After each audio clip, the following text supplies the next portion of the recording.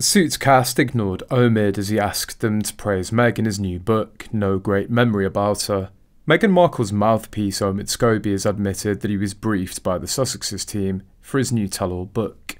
The journalist has previously insisted that he doesn't have a relationship with Meghan and that the pair instead share mutual friends. During a new interview about his book, Omid has now revealed exactly how much input Meghan's team had on the content.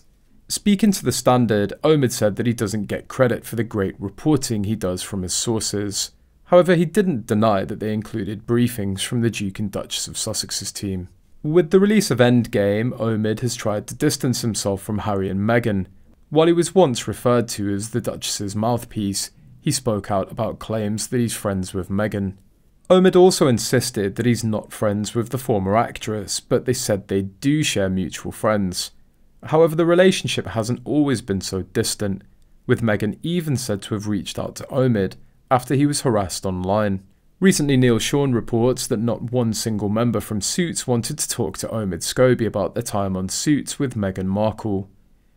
They had no great memories at all, and they weren't very friendly with Meghan, and allegedly some of them were very traumatised by working with Meghan Markle. It seems that everywhere she goes, she leaves traumatised people in her wake.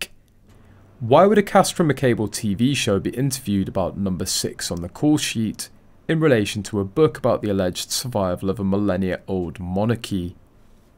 Is Scobie trying the link number 6 as the saviour of the monarchy? Remember that Tom Bower's book Revenge had a story of her creating a toxic workplace on the set of Suits with a group of mean girlfriends that had to be dealt with by producers and her agent. And that's why the return to suit story was a non-starter, just another mad manifestation. No one with any self-respect would work with Ragland again, they've all learnt their lesson. No wonder Meghan was being written off of suits and she scrambled desperately to snatch Harry, just like now desperately trying to spread disinformation and misinformation through scabies.